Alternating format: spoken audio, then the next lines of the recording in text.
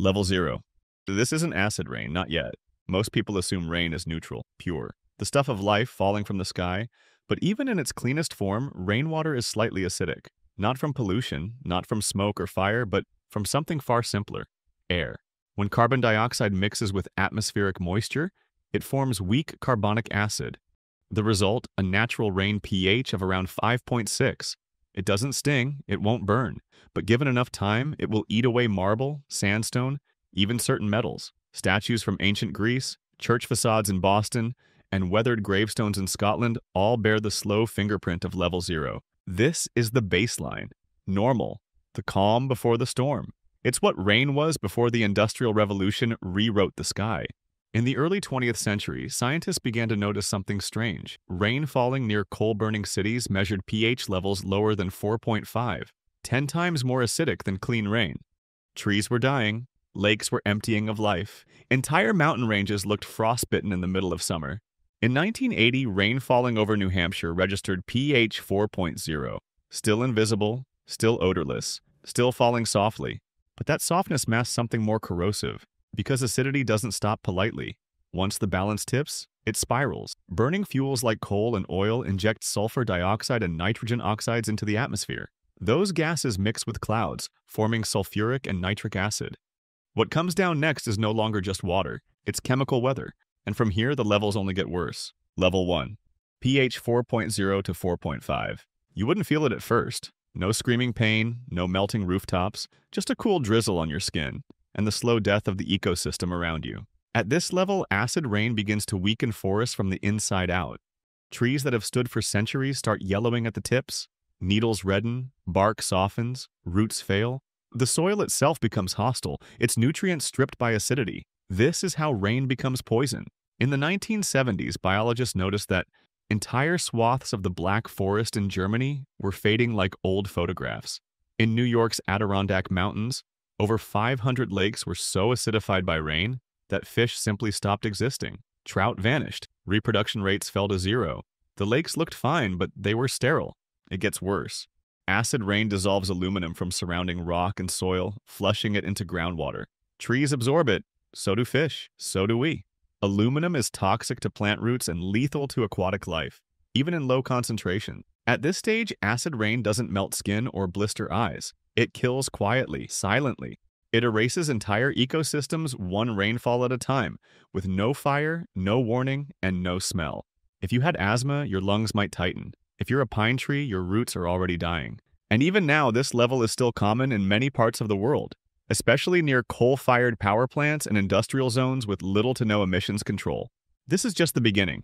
The rain is still soft, still clear. But what happens when the sky starts to corrode stone, metal, and everything humans have ever built? Level 2. pH 3.5 to 4.0. At this level, acid rain moves from forest floors to concrete jungles. The damage is no longer silent. You can see it, smell it. Scrape it off the surface of a statue with your fingernail. Rain this acidic begins to corrode infrastructure. Buildings, bridges, metal rails, limestone monuments, copper roofs. Everything humans thought would outlast them begins to dissolve in slow motion. In Athens, the Parthenon endured war, looting, and centuries of weather.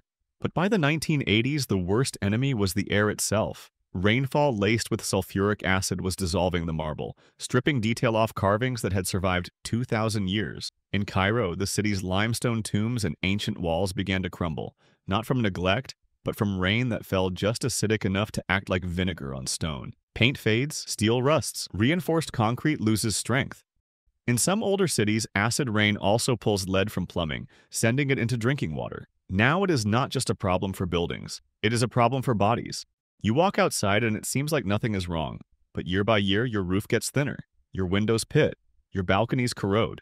What rain doesn't touch directly, the runoff does. It is death by drizzle, slow enough to ignore, persistent enough to bankrupt a city.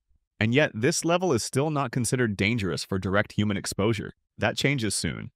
Because the next level is not about what rain does to statues, it is about what it starts doing to skin. Level 3, pH 3.0 to 3.5.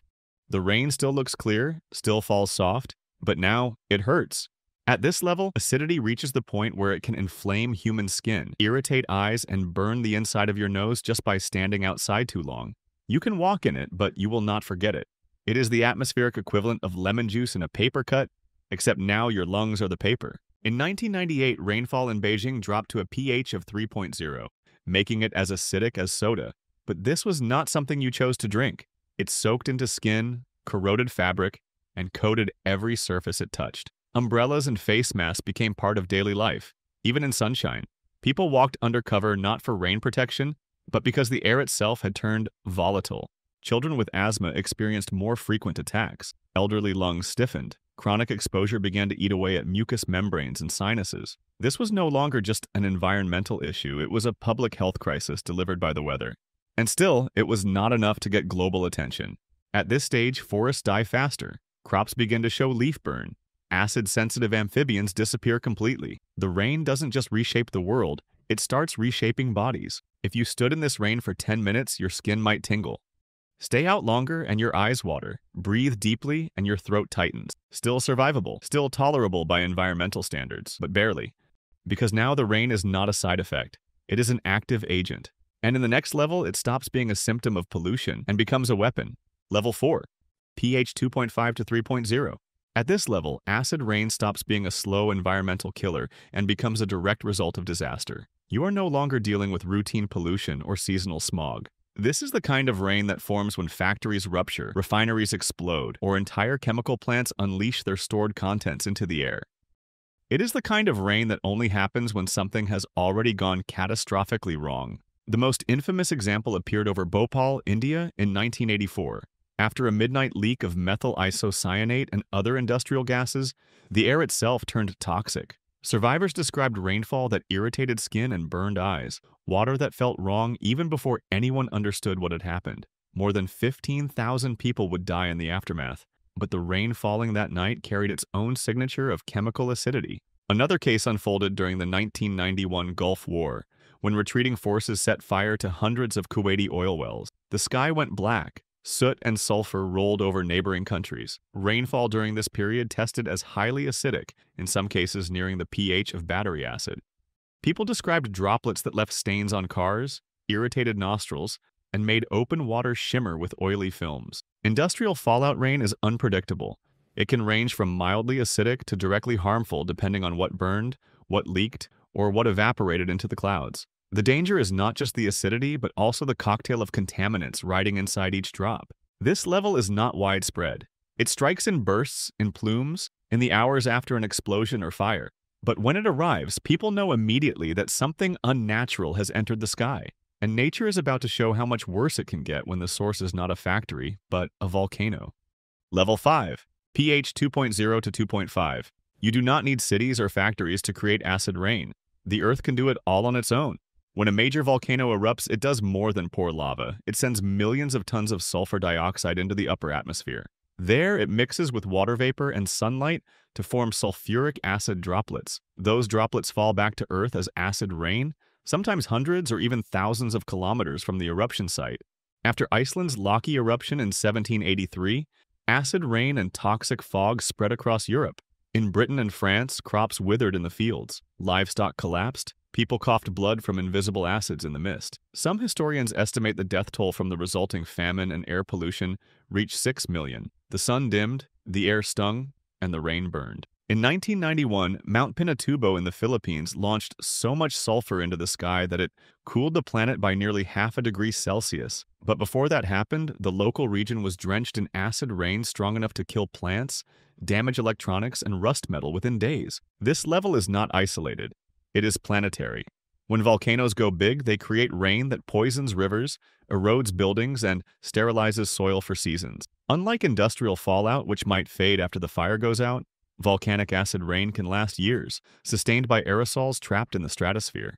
You do not need to live near the crater, you just need to be downwind. And the worst part? You cannot stop it.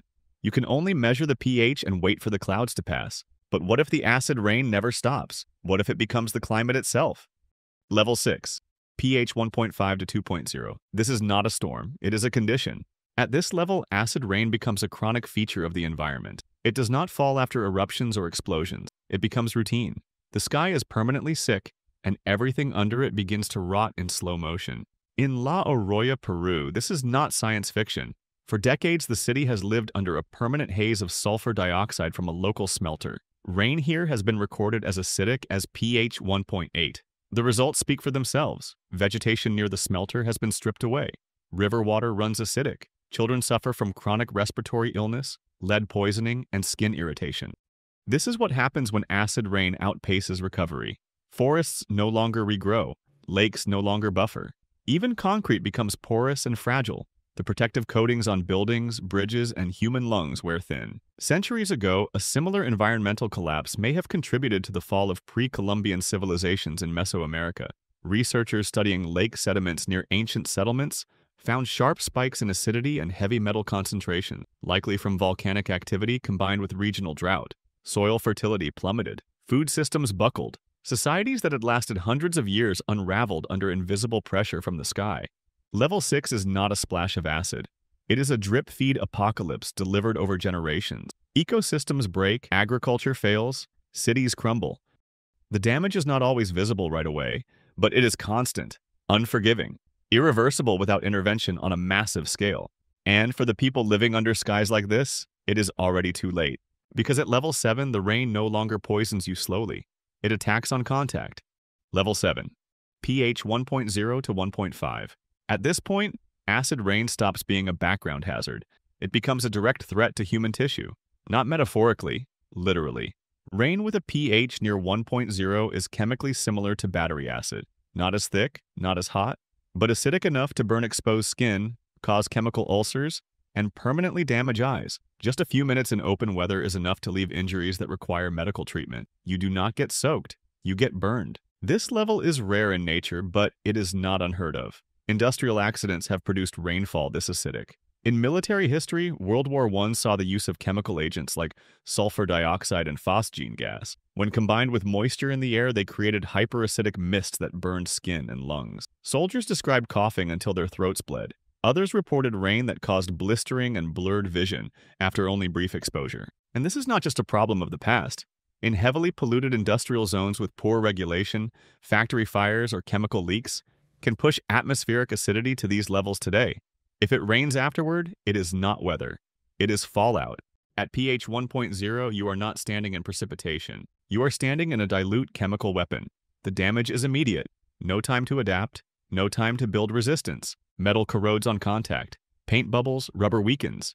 And if you are caught outside with no protection, the burns on your skin are only part of the problem. What you breathe in will stay with you long after the clouds clear. And yet this is still Earth, because the next level begins at the edge of extinction. Level 8, pH 0.5 to 1.0. You are not alive for this kind of rain. If you are, you do not stay that way for long. 66 million years ago, a rock the size of a city struck the Earth near what is now the Yucatan Peninsula. The asteroid impact vaporized massive beds of sulfur-rich rock, sending an unimaginable volume of sulfur dioxide into the stratosphere. Within hours, global temperatures plummeted, Within days, the skies turned dark, and then the rain began. According to geochemical models, that rain may have had a pH below 1.0, acidic enough to burn skin, acidic enough to kill fish in rivers across the world, acidic enough to sterilize entire ecosystems before the ash even settled. In the fossil record, freshwater life vanishes almost overnight. Forests collapse, coral reefs go silent. The acid stripped away the foundations of food chains, from plankton to apex predators. This was not a local event. It was global. Ocean chemistry changed. Weather patterns snapped. The rain did not fall as storms. It fell as a planet-wide purge. What happened after the asteroid was not just an impact winter. It was an acid bath, dissolving the biosphere from the sky downward. For months, maybe years, the air itself was toxic. Any creature that breathed, drank, or absorbed moisture through its skin was at risk. And yet even this extinction-level acid rain was natural, Earth-made, random. But what if it were designed? What if someone wanted it to happen again? Because the next level is not an accident. It is acid rain with a purpose. Level 9. pH less than 0.5. If you want to see what happens when acid rain never ends, look up at Venus. Its atmosphere is a nightmare of superheated carbon dioxide, pressurized to over 90 times Earth's surface level. Floating within it are massive clouds of concentrated sulfuric acid, not just acidic rain, but an entire weather system of corrosive vapor. It is not water up there. It is chemical fire hanging in suspension. The surface temperature reaches over 460 degrees Celsius, hot enough to melt lead. The rain does not even reach the ground. It evaporates mid-fall, consumed by the heat, leaving only acid mist to circulate above the lava-like plains. Spacecraft sent to Venus survive for minutes before being crushed, melted, and digested. And yet, scientists believe Venus may have once had oceans, blue skies, possibly life. Then came a tipping point. Volcanoes released sulfur compounds faster than the atmosphere could absorb. The greenhouse effect took off like a runaway train.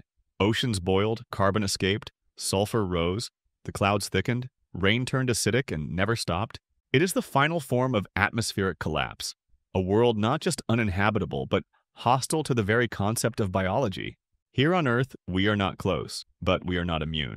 Some climate models suggest that unchecked industrial sulfur emissions, combined with carbon-driven warming, could push the planet towards similar instability, not in decades, but perhaps in centuries. If that process begins, it will not look like fire, it will look like clouds. It will look like overcast skies and chemical rainstorms that start shallow, then stay. At that point, weather is no longer local. It is a planetary rejection of life, and there is only one level left, when acid rain is not natural, not accidental, but designed. Level 10. This is no longer nature turning against us. This is someone turning the sky. In theory, it would not take much. Inject the right mix of sulfur dioxide or nitrogen-based compounds into the stratosphere using aircraft, rockets, or high-altitude balloons. Wait for it to spread across jet streams, then let it fall. What comes down next would not be rain. It would be a planetary chemical attack, delivered from above. Geoengineering researchers have proposed similar ideas to cool the Earth by mimicking volcanic eruptions. But in the wrong hands, the same method becomes something else entirely. A way to collapse ecosystems, a way to starve nations, a way to destroy infrastructure, disrupt economies, and poison entire populations without firing a single missile. The rain would begin innocently enough, just a light drizzle, maybe a haze in the air, but then the crops stop growing. The lakes turn sterile, the rivers run acidic, and the people underneath have no idea what is happening until their rooftops corrode and their lungs begin to burn. It is not science fiction. Every part of this is technically possible with current technology. It is only held back by law, by ethics, and by the thin hope that no one is willing to terraform a planet into a tomb. Some believe it could be used for war. Others whisper about sterilizing planets before colonization. In the end, the result is the same. Acid rain becomes more than a consequence of pollution or catastrophe. It becomes intentional, not a byproduct, not an accident, a message. And when that kind of rain falls, there is no shelter, no fixing the soil, no rebuilding. There is only one question left. If someone ever pulls that trigger, would we even know it was them before the sky turned against us?